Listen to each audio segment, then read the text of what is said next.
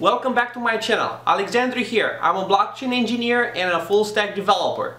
Today I'm gonna talk about the IOTA coordinator. I'm gonna try to explain what is IOTA coordinator, how it works, why is it centralized, why is it necessary for the IOTA Foundation to run the coordinator. I even proposed a very simple solution to get rid of the coordinator. I'm not an IOTA developer, but a few years ago I was doing some kind of research into the IOTA Tangle, and here are a few conclusions of the IOTA coordinator. The Tangle is just a simple data structure. In order to create a cryptocurrency or to create some kind of decentralized network, you don't really need only a data structure, you need also a consensus model. This is also the difference between Bitcoin the blockchain and the transaction itself. The blockchain doesn't work without the consensus. You really need a consensus. In the entire network, only one node is proposing the next transactions to be included in this global blockchain. So IOTA uses this tangle as a data structure storing all the transactions into an order. But unfortunately,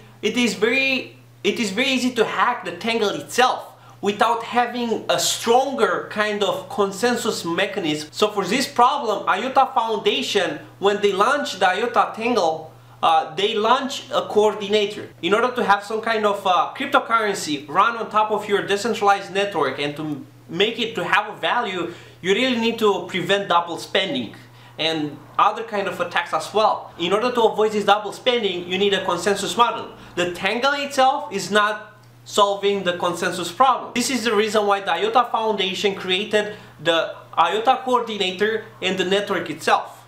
They split the problem of the consensus in two different sections. The coordinator and the network itself.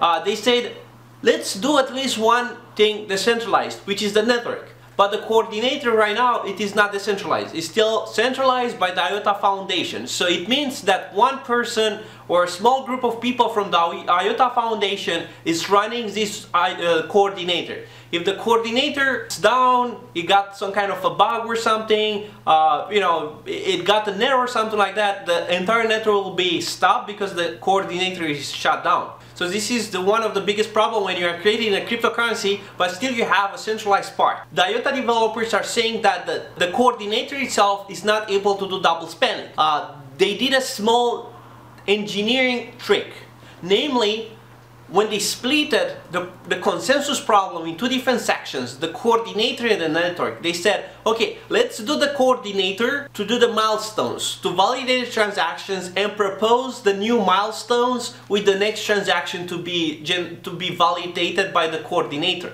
And they said, then the network, the second part of the consensus, the network, the decentralized network of the IOTA, said, okay, let's read all those milestones from the from the coordinator let's check if the milestones uh, they don't do any kind of double spending or they are or the coordinator was trying to revert a previous milestone in case the coordinator was trying to revert a milestone by creating a double spending then the decentralized network will no longer accept the data the transaction from the from the coordinator. So by doing this they, they were able to prevent the double spending from a potential coordinator attack. But is it a decentralized solution? Not really. It's not a decentralized solution because for example, let's say uh, you know the, the, the coordinator was a little bit more decentralized, not run by one person, by just you know a couple of people. It means that uncles, if you know the the, the term uncle uh, from the blockchain, from the Bitcoin itself, uncles are impossible to be managed on the IOTA uh, consensus uh, because it means that a milestone was proposed by the vice a coordinator or something like that and then it was reverted by creating a longer milestone or a better milestone or something like that. So by not having this solution it means the coordinator must be run by someone who assures that no uncle's milestones will be created in the network itself. Otherwise the coordinator will propose more and more milestones while the decentralized network will no longer accept the milestones because there was some kind of a fork. There was some kind of an uncle milestone um, generated by the coordinator so the decentralized network will stop receiving the information, the milestones from the coordinator itself. To decentralize a little bit the network, IOTA proposed this concept of milestones. What means uh, that the coordinator, the IOTA coordinator is validating transactions, making a super kind of transaction saying, uh, you know, all those transactions have been validated, there is no double spending in those transactions, and I'm signing with a special private key owned by the coordinator, by the IOTA people um, from the foundation. This is a milestone and the coordinator will never try to revert any of those uh, milestones in all any of those transactions. So achieving some kind of um, immutability by saying that the coordinator will never propose any fork or any uncle milestone. Asking the question why the IOTA Foundation cannot get rid of, the, of this coordinator that easy, it's quite simple. Um, it's, it's a little bit tricky to get rid of this coordinator because you're gonna have this problem with the milestones, uncles, with the forking of your own uh, network with the milestones and because of this special rule that there is no uncle milestone and any any kind of milestone forks into the coordinator, you cannot create a decentralized kind of coordinator. There can be a few solutions of how to get rid of this IOTA coordinator. I propose you a very simple solution of how to remove the IOTA coordinator but still, I'm not an IOTA developer, so maybe this is just a, a theoretical solution. You can create a small proof of stake macro blocks blockchain.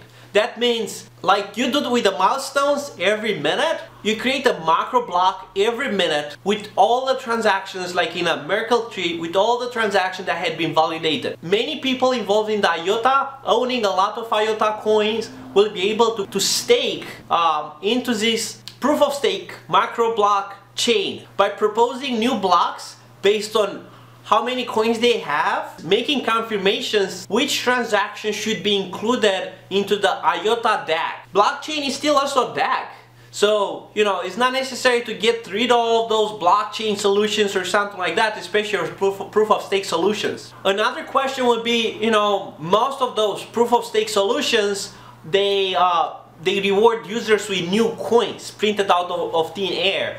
It's not necessary for the IOTA proof of stake macro blocks chain to reward users for proposing uh, these new blocks to the network. You can make it free, so no more coins must be printed from the thin air. You can also incentivize the honest nodes by, you know, collecting small fees, but all this is not necessary. You can make it free of charge for everybody. Uh, you, you, can make it scalable by using sharding networks of the macro blocks and so on but it's still it's better kind of solution and it's just simple. It's it's a simple out of the box uh, solution of how to move the centralized coordinator into a more decentralized uh, coordinator run by the IOTA users who are owning coins and they could you know stake proposing the new blocks with the new transactions uh, into a chain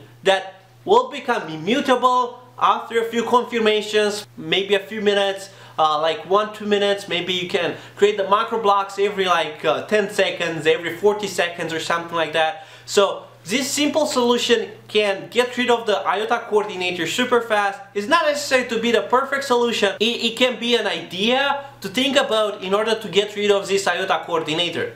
Uh, because having a centralized coordinator uh, will have bad impact on the community and especially because you know you can shut down the coordinator anytime you want. The IOTA coordinator is not permissionless. They can decide which transaction should be included and which transaction should not be included. Uh, in this permissionless uh, was designed in the Bitcoin, in most of other cryptocurrencies, uh, to be free for everybody and uh, to be permissionless for everybody. I really believe IOTA has a great future and uh, many solutions can be implemented in order to get rid of this coordinator. If you like my explanation about how the IOTA coordinator works, smash that subscribe button to get notified when my next videos about IOTA or about crypto will be uploaded. Thank you so much for your time and uh, I wish you an amazing day.